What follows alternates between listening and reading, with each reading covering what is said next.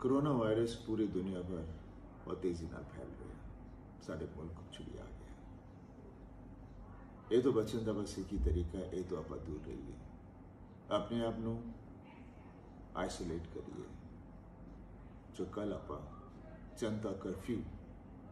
ਲਾ ਕੇ ਕੀਤਾ बहुत अच्छा लग गया लेकिन पाँच बजे तो बाद कुछ बेवकूफ़ा ने जाके ਇਹਦਾ ਜਸ਼ਨ ਮਨਾਇਆ ਜੋ ਬਹੁਤ ਗਲਤ ਹੈ ਆਪਾਂ ਨੂੰ ਭੀੜ ਨਹੀਂ ਇਕੱਠੀ ਕਰਨੀ ਆਪਾਂ ਨੂੰ ਭੀੜ ਤੋਂ ਦੂਰ ਰਹਿਣਾ ਆਪਾਂ ਨੂੰ ਆਪਣੇ ਬਾਰੇ ਸੋਚਣਾ ਹੈ क्यों आप अपने आप के बारे क्यों नहीं सोचते अगर आप खुद तंदुरुस्त हो तो पूरा परिवार तंदुरुस्त रहेगा ये बीमारी तो दूर रहेगा खासतौर बच्चे तो बुजुर्ग ਬਜ਼ੁਰਗਾਂ ਲਈ ਬਹੁਤ ਹੀ ਖਤਰਨਾਕ ਬਿਮਾਰੀ ਹੈ ਤਾਂ ਸਾਰਿਆਂ ਨੂੰ ਬਚਾਉਣ ਦਾ ਬਸ ਇਹੀ ਕੀ ਤਰੀਕਾ ਹੈ ਕਿ ਹਰ ਬੰਦਾ ਆਪਣੇ ਆਪ ਨੂੰ ਆਈਸੋਲੇਟ ਕਰੇ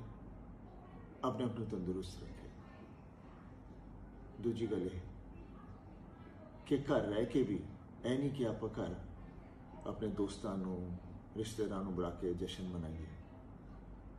ਕਿ ਉਹਦੇ 'ਚ ਵੀ ਡਰ ਹੈ ਕਿ ਪਤਾ ਨਹੀਂ ਕਿਸ ਇੱਕ ਬੰਦੇ ਨੂੰ ਇਹ ਬਿਮਾਰੀ ਹੋਵੇ ਤਾਂ ਇਹਦੇ ਨਾਲ ਆਪਾਂ ਇਦਾਂ ਨਹੀਂ ਲੜ ਸਕਦੇ ਇਹਦੇ ਨਾਲ ਲੜਨ ਦਾ ਬਸ ਇੱਕ ਹੀ ਤਰੀਕਾ ਹੈ ਕਿ ਆਪਣੇ ਆਪ ਨੂੰ ਆਪਣੇ ਪਰਿਵਾਰ ਨੂੰ ਲੈ ਕੇ ਆਪਣੇ ਆਪ ਨੂੰ ਆਈਸੋਲੇਟ ਕਰੋ डॉक्टर्स इस बीमारी ਨਾਲ ਲੜ ਰਹੇ ਹਨ ਬਹੁਤ ਜਲਦ ਇਹਦਾ ਇਲਾਜ ਵੀ ਆਊਗਾ ਲੇਕਿਨ ਤਦ ਤੱਕ ਲਈ ਆਪਾਂ ਸਾਰਿਆਂ ਨੂੰ ਸਮਝਦਾਰੀ ਨਾਲ ਇਸ ਬਿਮਾਰੀ ਤੋਂ ਬਚਣਾ ਹੈ ਆਪਣੇ ਆਪ ਨੂੰ ਆਈਸੋਲੇਟ ਕਰਕੇ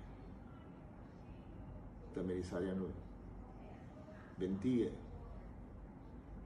ਕਿ ਜੇ ਤੁਸੀਂ ਆਪਣੇ ਆਪ ਨੂੰ ਨਹੀਂ ਬਚਾਓਗੇ ਤਾਂ ਪੂਰਾ ਟੱਬਰ ਕਿਦਾਂ ਬਚੂਗਾ ਸਤਿ ਸ਼੍ਰੀ ਅਕਾਲ